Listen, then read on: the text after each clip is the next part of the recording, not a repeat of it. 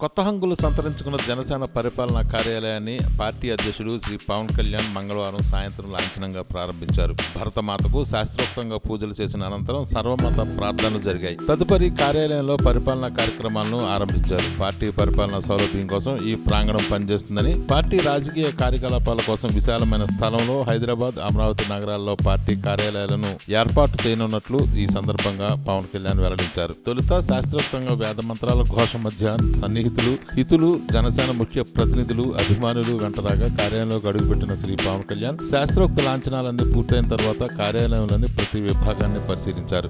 అనంతరం ముస్లిం మత పెద్దలతో పాటు ప్రముఖ నటుడు శ్రీ ఆలీ దివ్య ఖురాన్ను పఠించారు. క్రిస్టియన్ మత పెద్దలు బైబిల్లోని పవిత్ర స్తోత్రాలను జపించి శ్రీ పవన్ కళ్యాణ్ను ఆశీర్వదించారు. ఈ సందర్భంగా నటుడు ఆలీ తెలుగులో రాసిన దివ్య ఖురాన్ ప్రతిని శ్రీ పవన్ కళ్యాణ్కు బహుకరించారు. దేశంలో ప్రజాస్వామ్యం పరిడి వెళ్ళాలని స్వచ్ఛమైన రాజకీయ వ్యవస్థ ఆవిష్కృతమవ్వాలని గత ఇరవై సంవత్సరాలుగా గోడల మీద నినాదాలను రాస్తూ జనంలో చైతన్యం తీసుకురావడానికి కృషి చేస్తున్న తెలంగాణకు చెందిన జనసేన కార్యకర్త నెమ్మల వీరన ఈ కార్యక్రమానికి ముఖ్య అతిథిగా హాజరయ్యారు.